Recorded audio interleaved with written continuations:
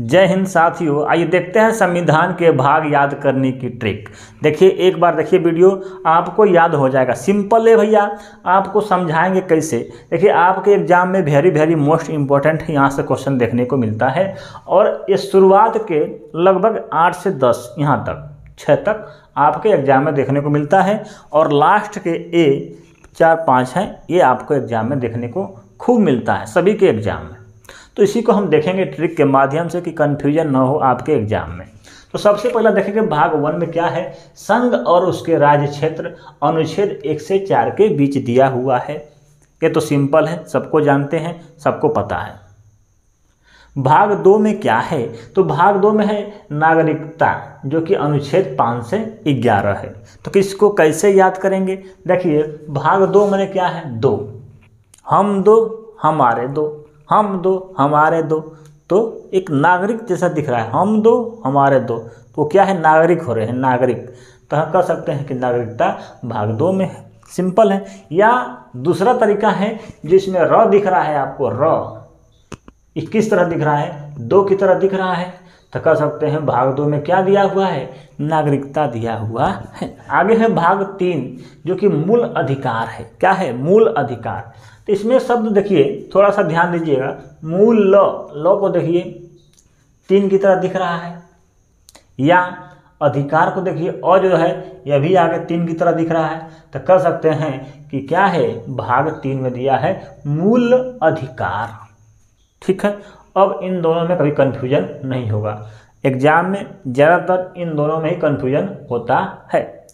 अब समझ में आ गया होगा, दो से दो, आई, ल से तीन या ओ से तीन, किसी से बैठा सकते हैं, याद रहेगा। आगे है, राज्य के नीति निर्देशक तत्व, जो कि अनुच्छेद छत्तीस से इक्यावन है। तो राज्य नीति निर्देशक तत्व क्यों बनाता है? क्यों क्योंकि उस राज्य में चोरी ना हो। क्या ना हो? चोरी ना हो। तो चोरी से हम याद करेंगे चार। नीति निर्देशक तत्व तो इसलिए बनाया जाता है कि उस राज्य में चोरी न हो। तो चोरी से चार तो भाग चार में दिया हुआ है क्या? राज्य की नीति निर्देशक तत्व। ठीक है? याद हो गया? आगे है मूल कर्तव्य। यह है भाग चार का क। क मूल कर्तव्य। अनुच्छेद इक्यावन के क में दिया हुआ है। ये सबको पता रहता है, बहुत सिंपल है। ये संविधान जो पढ़ा हुआ है, उसको आप आसानी से इसको याद कर सकते हैं। आगे है भाग पाँच में दिया है संघ। भाग पाँच में क्या है? संघ। तो हमारा हाथ देख रहे हैं, ये पाँचों उंगलियाँ क्या हैं? एक संघ बना के एक ही साथ हैं। तो भाग पाँच में क्या हो गया? संघ हो गया। तो कह सकते हैं, ये जो पाँच उंगलियाँ देख रही है, ये साथ हमेशा संघ बना के रहती हैं। तो संघ से संघ, अनुच्छेद बावन से एक सौ इक्यावन के बीच है, भाग पाँच में संघ। ठीक है? याद हुआ? इतना बहुत ही इम्पोर्टेंट है। इसके बाद है भाग छः भाग छः में क्या है? राज्य। संघ ऊपर नीचे क्या है? राज्य है। देखिए छः में क्या है? राज्य। राज्य मैंने क्या कर सकते हैं? स्टेट। स्टेट कैसे होता है? यस, एस की तरह। एस एस जो है, ये जो है छः की तरह दिखता है लगभग, हम कर सकते हैं। तो स्टेट से स्टेट से क्या हो जाएगा? छः तो भाग छः में क्या है? स्टेट। मतलब कि राज्य अनुच्छेद एक सौ बावन से दो के बीच। ठीक है? भाग सात कैंसिल हो गया है। भाग आठ में क्या है? संघ, राज्य, क्षेत्र। संघ और राज्य, क्षेत्र। तो मान लीजिए क्या है? ये संघ है। एक संघ है और उसके राज्य, क्षेत्र। संघ, राज्य, क्षेत्र।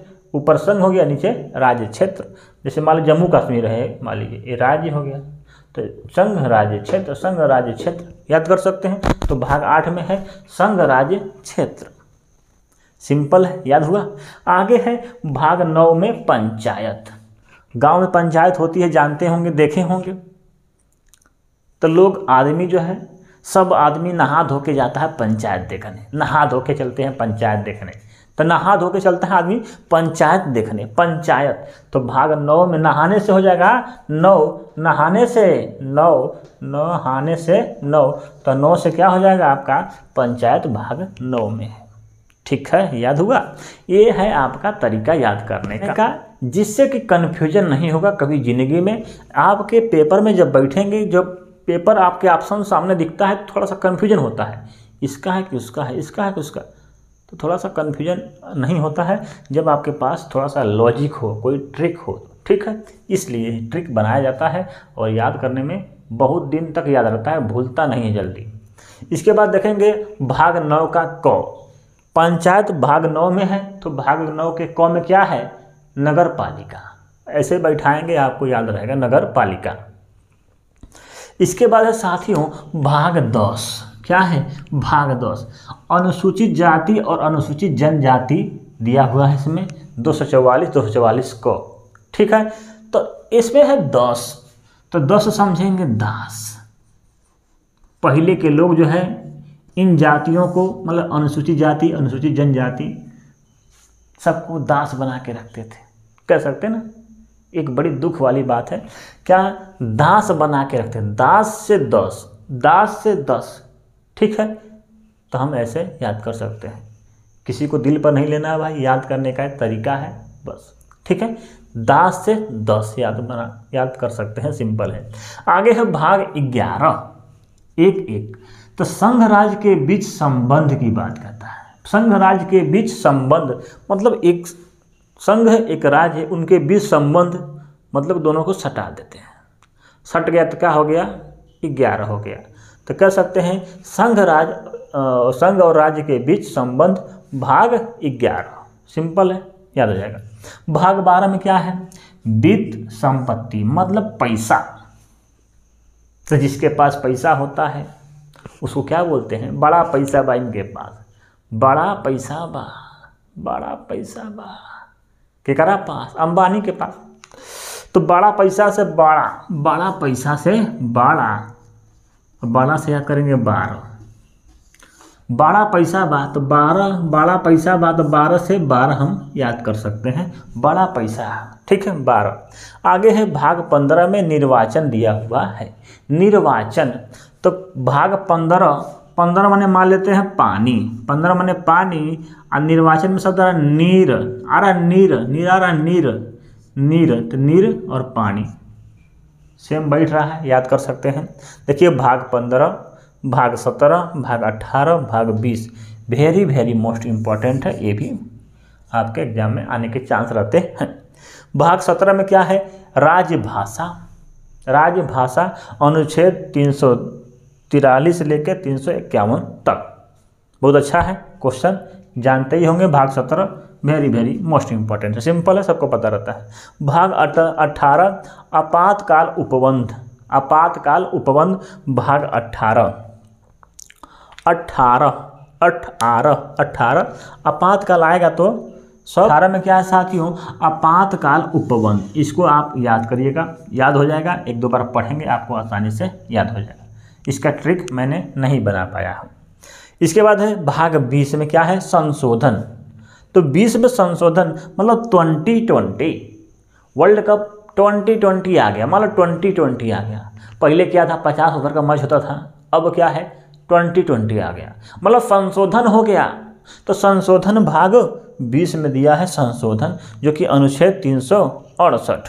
ठीक है? यह संशोधन। पहले पचास ओवर का मैच होता था, अब जो है ट्वेंटी ट्वेंटी का मैच होता है, ट्वेंटी से ट्वेंटी। तो भाग ट्वेंटी में क्या है? संशोधन दिया हुआ है। सिंपल है भाई।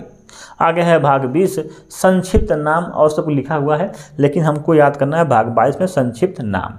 कोई दिक्कत नहीं है, ये वेरी वेरी मोस्ट इंपॉर्टेंट है भाग, ये सब। ठीक है? सत्रह अट्ठारह पंद्रह, बीस, आपको याद करना बहुत ज़रूरी है। इधर आप बता दिए हैं, कोई दिक्कत नहीं है सिंपल वीडियो है। एक बार वीडियो अच्छी लगे तो लाइक करिएगा। देखने के लिए धन्यवाद। जय हिंद।